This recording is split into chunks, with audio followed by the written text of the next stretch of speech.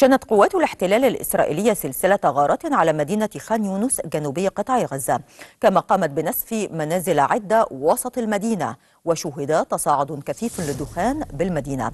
وذكرت مصادر فلسطينية أن قوات الاحتلال قصفت المنطقة الوسطى من القطاع.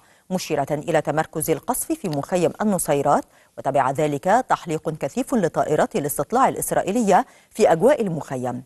وأفادت المصادر باستشهاد وإصابة عدد من المواطنين في غارات نفذها طيران الاحتلال الإسرائيلية. استهدفت منزلين في رفح جنوبي قطاع غزة.